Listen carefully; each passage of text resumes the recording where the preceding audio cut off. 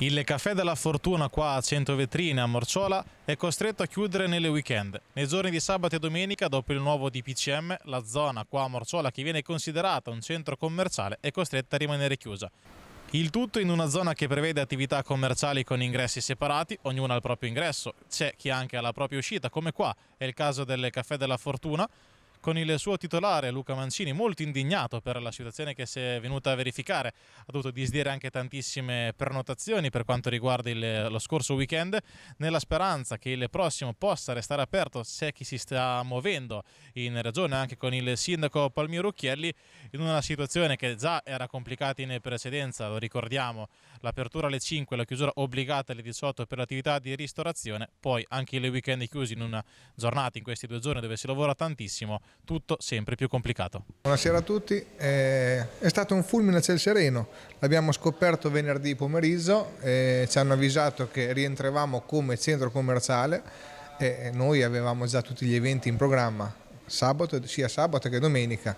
Per noi è stato, non avevamo nemmeno immaginato eh, che noi eravamo, potevamo essere chiusi, perché questo non è un centro commerciale, avendo un'entrata a parte, un'entrata e un'uscita, siamo indipendenti, non abbiamo niente a che fare con un centro commerciale in teoria, quindi ci ha preso la sprovvista. Hai parlato di, avevate qualcosa di pronto, qualcosa anche immagino di novità visto il periodo per cercare di invogliare la gente a venire comunque in un posto pubblico.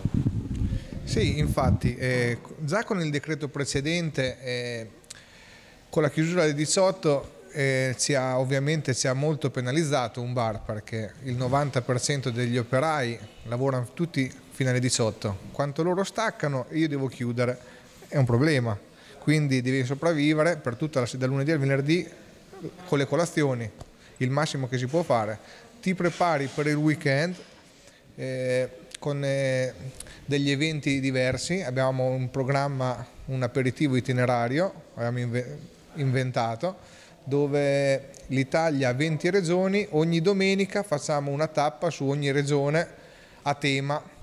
Si partiva dalle Marche, su ogni regione si consigliava un bianco, un rosso e un frizzantino con il piatto tipico, partivi dalle, dalle Marche, c'era l'oliva scolana e via dicendo. La prossima tappa era in Toscana, bianco, rosso e bollicine della Toscana con il piatto loro e via dicendo, per tutte e 20 le regioni.